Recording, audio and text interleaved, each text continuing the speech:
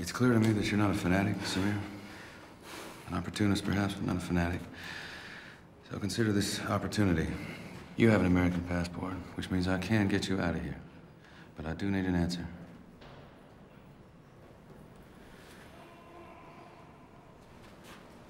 You want to spend the rest of your life here in Yemen? You go right ahead. But you and I both know that I'm likely to be the last friendly face you're going to see for a long time. I don't have anything to say to you.